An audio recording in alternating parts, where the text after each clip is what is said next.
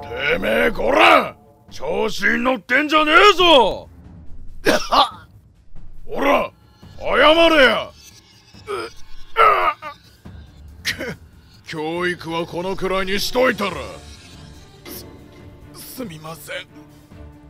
赤ずきんちゃん！なに秋場所優勝は春馬富士春馬富士さんやりましたね。次の場所も頑張ってください。応援してます。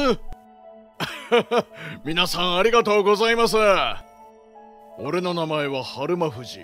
第70代横綱だ。きっと俺のことを知らない日本人はほとんどいないだろう。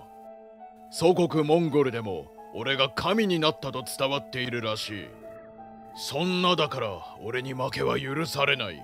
次の場所でも圧倒的な内容を持って優勝するつもりだ、はあはあ、調子いいな。これなら次も優勝を狙って戦える。そんな中2017年の秋巡業中に俺や同じく横綱の白鵬は貴乃岩ら後輩力士の高校 OB による激励会に参加することになった。そういやよ。お前貴乃岩っつったっけ？はい。お前なんか最近調子に乗ってるらしいじゃねえか。なんでも俺らの時代が来るとかなんとか。あいやそれは。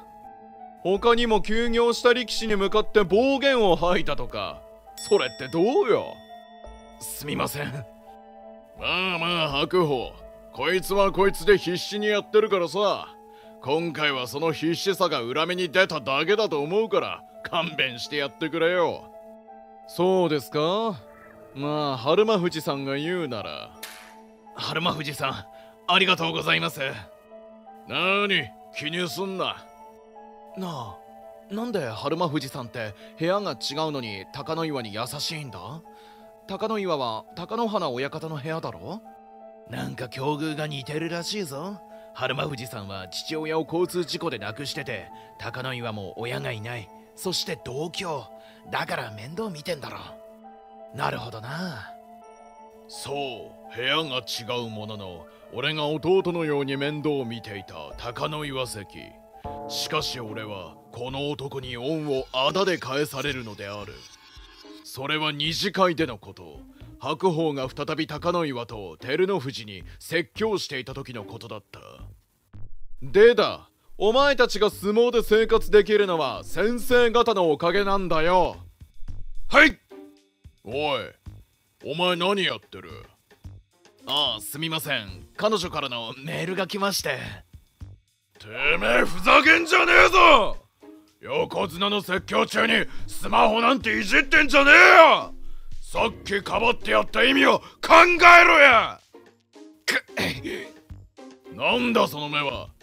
早く謝れ！ちょ、春馬富士さん、さすがにそれ以上は、しかもリモコンで殴るなんて。うっせえよ！邪魔すんじゃねえ！こいつには指導が必要なんだよ！大横綱に対して失礼すぎる態度。さすがに見過ごすわけにはいかない俺は1分以上高野岩を指導として殴り続けた。富士さんその辺にしといてください。血出てますって。白鵬がそう言うんだったら仕方ないほら早く謝れすすみませんでしたこの時高野岩は頭皮が切れて出血し手首はあざだらけになっていた正直ちょっとだけやりすぎた気もしなくはない。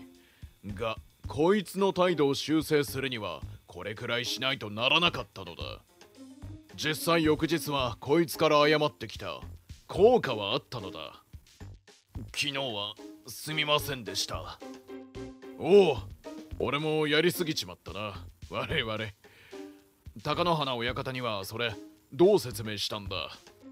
酒を飲んで階段から落ちたと。そうかそうか。ならいい。この件はこれで終了な。こうして俺たちは若い。秋巡業に全力を注ぐはずだった。何？高野岩が怪我で入院？頭部骨折の重傷で髄液漏れの疑いもだと？おい春馬富士。お前高野岩を殴ったって本当か？相撲協会に暴行したって情報が入ったぞ。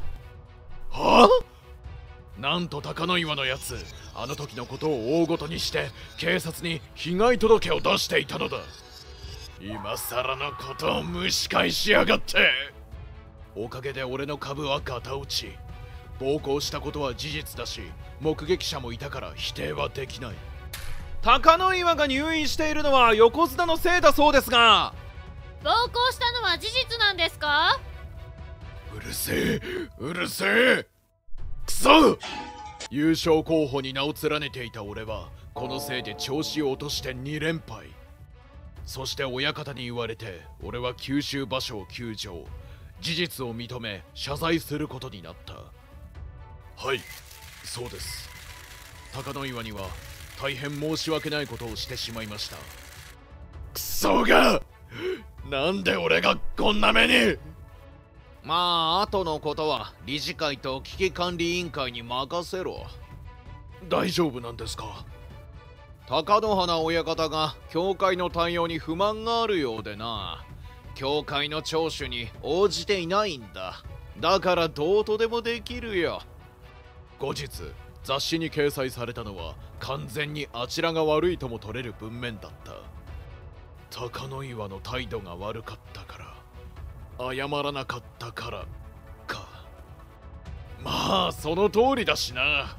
これで俺の株は持ち直すだろう。後輩を正したいい先輩みたいな感じでな。おまけに一向に聴取を受けない貴乃花親方にも処分が下ることに。もはや完全に悪いのはあちらサイドとなった。しかしここでまさかの事態が起こる。ちょなんで俺が横綱を引退しないといけないんですか？横綱の品位を落としたからだよ。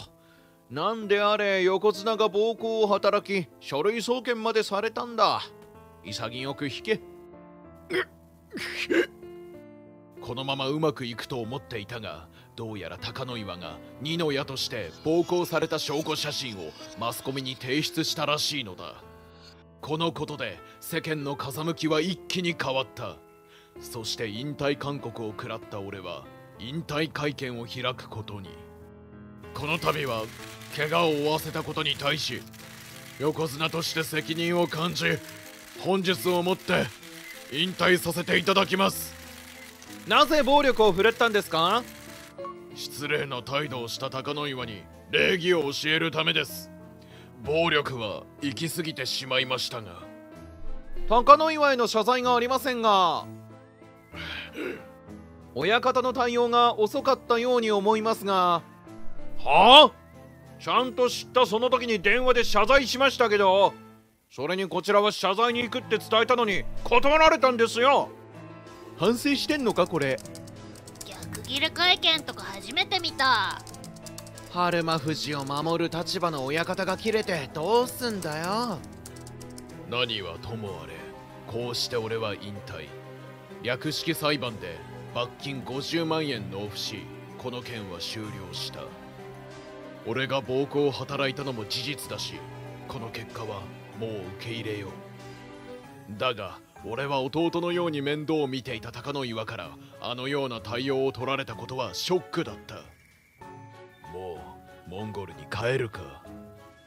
その後モンゴルに帰郷した俺が何をしているかというと学校を建設し俺を産んでくれたモンゴルに恩を返している。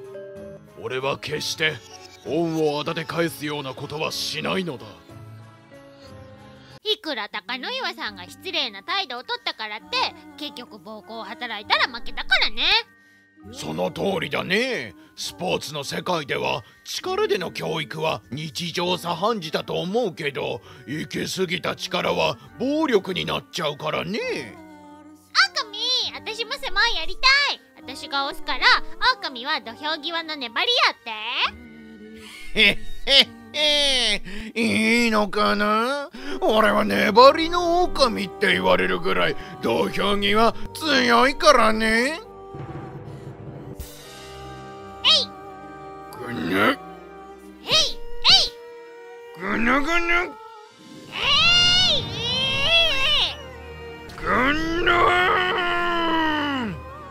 粘りすぎて客が引くわ。男なら潔く相手を立てなさいよ。そずきんちゃん。それやおちょ。に輝く星を見上げ